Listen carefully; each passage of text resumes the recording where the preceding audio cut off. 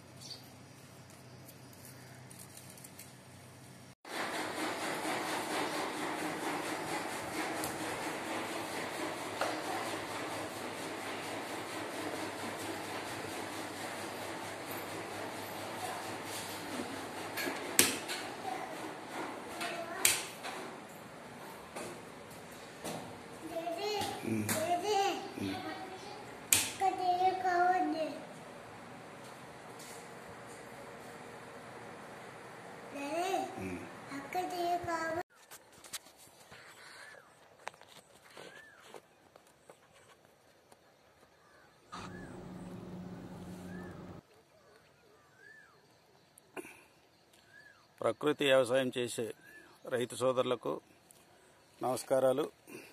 నా పేరు కొడుగుల వెంకటరామరెడ్డి మేనవల్ గ్రామం ఎరుపాలెం మండలం ఖమ్మం జిల్లా.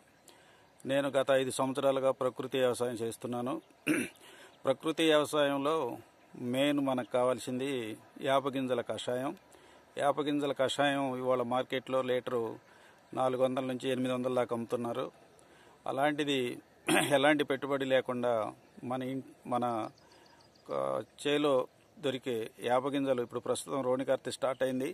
యాపగింజలు ఇరువుగా కాసినాయి దొరుకుతున్నాయి ప్రస్తుతం యాపగింజలు పండి రాలి కింద పడుతున్నాయి. ఆ పండి రాలి కింద పడ్డ యాపగింజలను మనం ఏరకొచ్చుకొని ఇంట్లో నానబోసుకొని కానీ లేత రోట్లు వేసుకొని కానీ దంచుకొని మంచిగా జొన్నలు దంచినట్టు దంచి ఒకటికి రెండు సార్లు నీళ్ళల్లో కడిగి పొట్టుని గింజల్ని ఏరు చేసుకొని ఆ ఏరు చేసుకున్న గింజలను కూడా మళ్ళీ ఒకటి రెండు సార్లు శుభ్రంగా కడిగితే బియ్యం లాగా తెల్లంగా వస్తుంది గింజ. ఆ గింజను మంచిగా ఆరబెట్టుకొని ఎలాంటి తేమ లేకుండా ఆరబెట్టుకొని నిల్వ చేసుకుంటే సంవత్సరం వస్తాయి మనకు అయ్యి ఆ కాయలు సంవత్సరం రోజులు అట్ట ఉంటాయి నిల్వ. మనం ఇక పైర్లు వేసుకున్న తర్వాత పైర్లకు పిచికారీ చేసే ముందుగా ఏదైతే ట్రిప్స్ కానీ పురుగు కానీ వచ్చిందని మనకి అనుమానం వచ్చినప్పుడు ఒక వంద గ్రాములు చిన్న మిక్సీ జార్లో వేసి వంద గ్రాములు మంచిగా పౌడర్ లాగా చేసుకొని ఆ పౌడర్ని ఒక లీటర్ నీళ్ళల్లో కలుపుకొని ఇరవై నాలుగు గంటలు నాననిచ్చి సపోజ్ ఒక డబ్బాలో పోస్తే దాన్ని మనకి గుర్తొచ్చినప్పుడల్లా ఒకసారి ఒక ఐదు నిమిషాలు ఊపుతూ ఉండాలి. ఊపితే అది మొత్తం కషాయం అంతా నీళ్ళకి దిగి వస్తుంది. నీళ్ళల్లో కలిసిపోద్ది. దాన్ని శుభ్రంగా వడకట్టుకోవాలి ముందు పెద్ద జారుతోని. తర్వాత ఇంకొక అర్ధ గంట గ్యాప్ ఇచ్చి దాన్ని ఒకటికి మూడు సార్లు మంచిగా గుడ్డేసి వడపోసుకోవాలి. అది ఒక లీటర్ వస్తుంది. ఆ లీటర్కి ఇంకొక లీటర్ వాటర్ యాడ్ చేసుకొని కలుపుకుంటే అది మొత్తం టోటల్గా రెండు రెండు లీటర్ల కషాయంగా తయారవుతుంది. ఆ కషాయాన్ని రెండు వందల లీటర్లకి లీటర్ నీళ్ళు లీటరు కషాయం కలుపుకొని కనుక మనం పిచికారి చేసుకోగలిగితే అది ఎకరానికా ఎకరన్నరక వయసు మొక్క వయసును బట్టి మనం పిచికారి చేసుకుంటే కనుక మంచి రిజల్ట్ వస్తుంది. మనం తయారు చేసుకున్నది కొట్లో మనకు దొరికేది ఫైవ్ హండ్రెడ్ అంటే ఐదు వందల నుంచి పదిహేను వందల దాకా మనకు దొరుకుతుంది. ఇది మనం తయారు చేసుకుంది దగ్గర దగ్గర యాభై వేల పీపీఎం దాకా ఉంటుంది. మంచి రిజల్ట్ వస్తుంది. ఐదు పైసల ఖర్చు ఉండదు. మనకు శ్రమ తప్పితే ఐదు పైసల ఖర్చు ఉండదు. ఒక కిలో కాయలు మనం గ్యాదర్ చేసుకోగలిగితే ఇరవై లీటర్ల కషాయం నెంబర్ వన్ కషాయం తయారు. కషాయం కలుపుకొని కనుక మనం పిచికారి చేసుకోగలిగితే అది ఎకరానికా ఎకరన్నరక వయసు మొక్క వయసును బట్టి మనం పిచికారి చేసుకుంటే కనుక మంచి రిజల్ట్ వస్తుంది.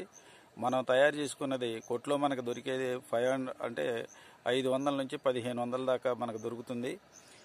ఇది మనం తయారు చేసుకుంది దగ్గర దగ్గర యాభై వేల పీపీఎం దాకా ఉంటుంది. మంచి రిజల్ట్ వస్తుంది. ఐదు పైసల ఖర్చు ఉండదు. మనకు శ్రమ తప్పితే ఐదు పైసల ఖర్చు ఉండదు. ఒక కిలో కాయలు మనం గ్యాదర్ చేసుకోగలిగితే ఇరవై లీటర్ల కషాయం నెంబర్ వన్ కషాయం తయారవుతుంది అది ఇరవై నుంచి పాతిక ఎకరాల వరకు మనం పిచికారి చేసుకోవచ్చు. అంటే మనకి ఎన్ని ఎకరాలు ఉంటే అన్ని కిలోలు కాయలు కనుక మనం ఏరుకొని శుద్ధి చేసుకొని కనుక మనం ఇంట్లో దాచిపెట్టుకుంటే మనకి ఎలాంటి ఖర్చు లేకుండా ఒక కిలోకి ఇరవై లీటర్లు ఆయిల్ మనం తయారు చేసుకొని వాడుకోవడానికి మంచిగా ఉంటుంది. ఇది పత్తిలో కానీ మిర్చికి కానీ వరికి కానీ ఎన్ని పంటలు ఏ పంటకైనా మనం పిచికారి చేసుకోవచ్చు. ఇది మీరు ఇప్పుడు ప్రస్తుతం నా విజ్ఞప్తి ఏంటంటే యాపకాయలు పండి రాలి కింద పడుతున్నాయి. ఆ పండ్లు ఏరకొచ్చుకొని మంచిగా శుద్ధి చేసుకోగలిగితే రైతుకి ఎంతో మేలు కలుగుతుంది.